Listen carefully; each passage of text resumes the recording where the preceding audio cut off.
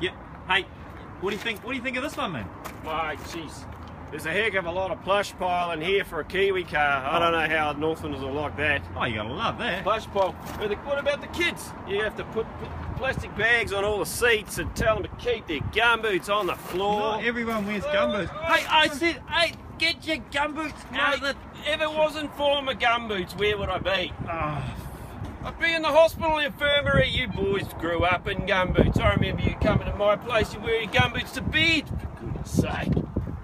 Now look at all these knobs. Where's I want two knobs in my car? One for go and another one for stop. they've kind of come a long way since It's that. ridiculous. What what's all this stuff What? What? for? Ah. you. Right? And this one does what? What? Hey. Mate, this is possessed. This car's possessed. I've had enough of this. I'm off to milk the cows.